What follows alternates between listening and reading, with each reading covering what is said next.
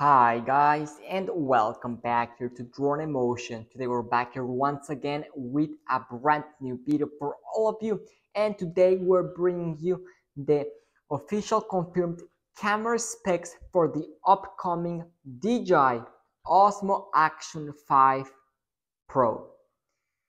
But before we get started with today's episode, if you're new to the channel, welcome here. And if you want to keep up to date with any upcoming DJI product, whether it's the Action 5 Pro or any drones from DJI, such as the Air 3S or Mavic 4, you already know this is the place to come for all of the latest updates and news.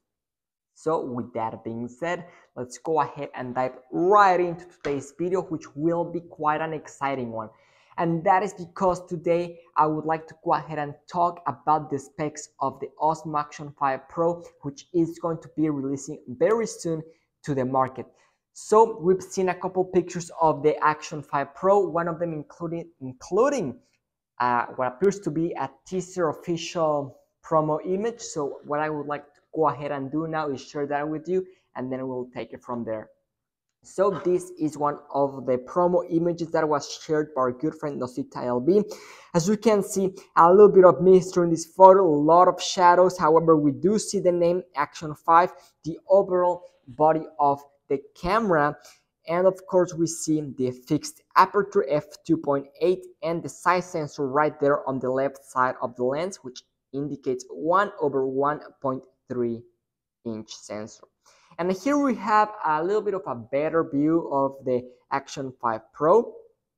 However, it seems like this one says Pro on the side and the other one which we just took a look at only says Action 5. So it seems like for this new Osmo Action 5 there are going to be two different versions, an Osmo Action 5 and an Osmo Action 5 Pro.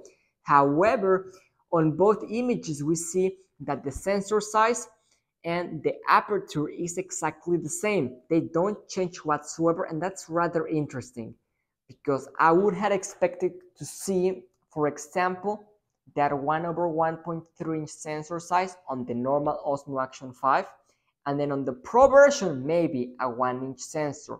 However, it seems like that did not happen or won't happen at least with this generation which for me is a big of a letdown. The field of view is also right there. I believe it's a 155. Yes, that's correct, 155.